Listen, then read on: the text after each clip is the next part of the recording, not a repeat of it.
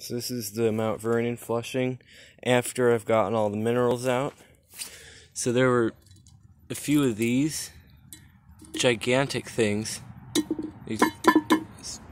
in the trapway. They were up towards the very end, and there's junk all over the place from where I cleaned it out.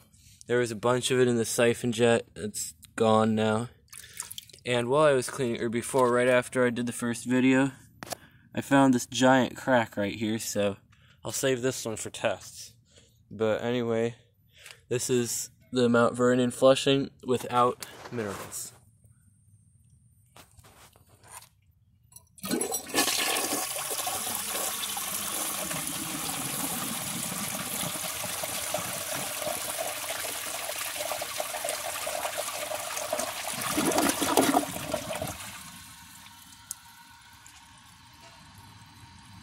That's how it's supposed to flush.